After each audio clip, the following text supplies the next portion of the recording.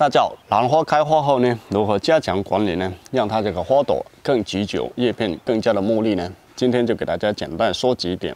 首先，第一步呢，就是进入冬天呢，一定要给它适当的光照，可以给它做一个全日照也是可以的。因为呢，冬天的光照跟夏天的光照呢，相对来说是相差很远的。所以呢，进入冬天呢，一定要给它充足的光照啊，不要给它处于一个缺光的状态去养护就可以了。这样呢，避免它出现一个叶片萎蔫，花朵也出现萎蔫的情况。然后就是室内养护的话呢，温度一定要掌控好，最好温度是在十到十五度之间的室温是为宜的，不要一下子过高，一下子过低的，在这个状态下温度下去养护啊，这样呢它也会出现一个萎蔫的情况的，所以呢温度一定要掌控好。第三点呢，如果发现这个比较干燥的话呢，可以向叶面喷洒水雾也是可以的。早上八点钟之后喷洒一次，还有呢傍晚五点钟之后喷洒一次。是唯一的，让它吸收水分，让它不会缺乏水分而影响它正常的生长就可以了。水呢，兰花也是不可以缺水的啊。另外呢，在它生长期啊，也可以给它补补肥啊。补肥的话呢，最好是以水溶肥为主啊，农肥啊建议不要使用了，因为在它开花期间呢，使用农肥的话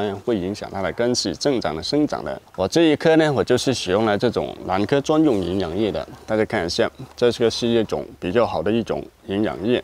这专门针对这个兰科而设计的一种营养水，咱们可以按照里面的配比说明兑水浇灌也是可以的。我一般我都是，这里有一个小量杯的。大概就是半杯左右，兑上大概八百到一千毫升的清水，给它一个月浇灌一次就可以了。像这种水杯的话呢，按照这个比例配比就可以了，就是一个月给它浇灌一次就可以了。这样让它有足够的养分供给到这些叶片、花朵上就可以了，这样就不会缺乏养分而影响它正常的生长了啊。